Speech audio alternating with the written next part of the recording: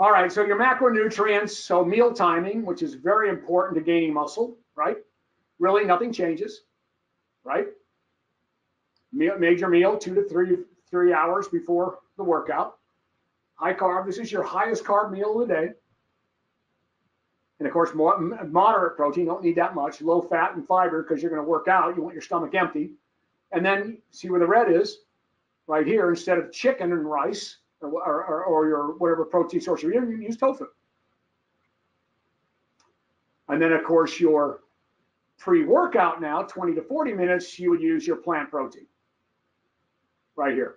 And I put all this numbers in here because people always ask me, well, what should I take 25 grams before? The reason is 25 to 40 Someone like me that's a shriveled up old man, I'm resistant to protein. My body, I'm not supposed to be here. So your body turns off in your 30s to protein. You need more. The older you get, the more protein you need.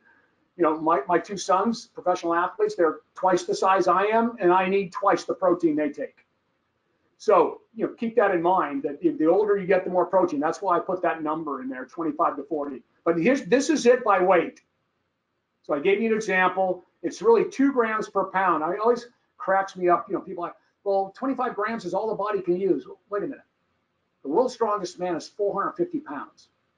And I've got a female or a male competitive physique athlete weighing 140. Do they get the same? I mean, they, they, they can use the exact same number than the, than the 450 pound uh, world's strongest man? Mm-hmm. Bad science. Okay, so these are the facts here if you really want to get, I, I just make it easy for people because, you know, people don't want to do the math, but I put it out here for you anyway, for all you science heads. But the goal before you start your workout is stomach empty as possible. That's why I put the quotes around it. Energy system's full because all that stuff digested and pushed into the muscle, glycogen stores, all that.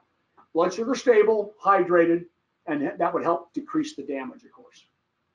All right, during exercise now, this is just the water, obviously.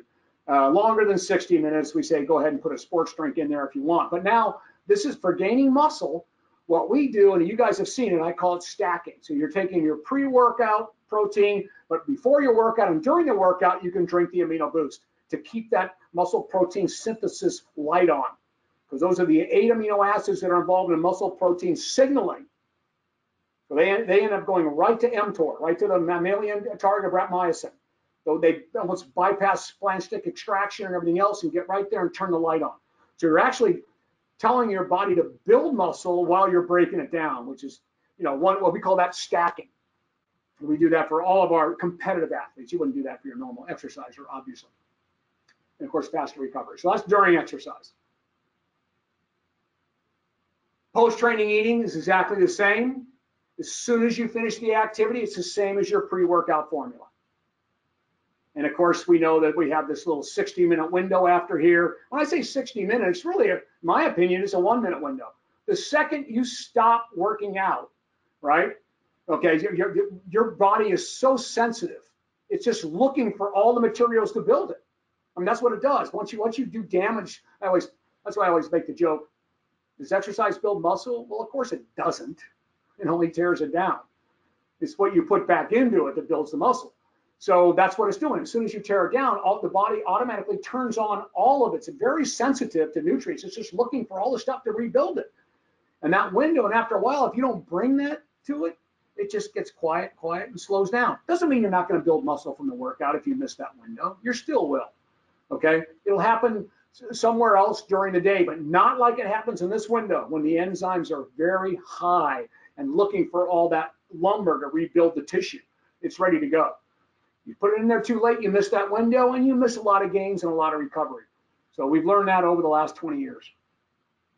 And you would use, obviously, the plant protein because you're a vegan.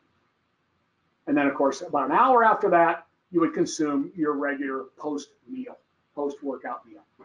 So those are meal timings all the way around. I put this in here too, special considerations, uh, early morning. Now, again, when, when we go, because, you know, as you guys know, we work with professional and college athletes and high school athletes and ever, everything else.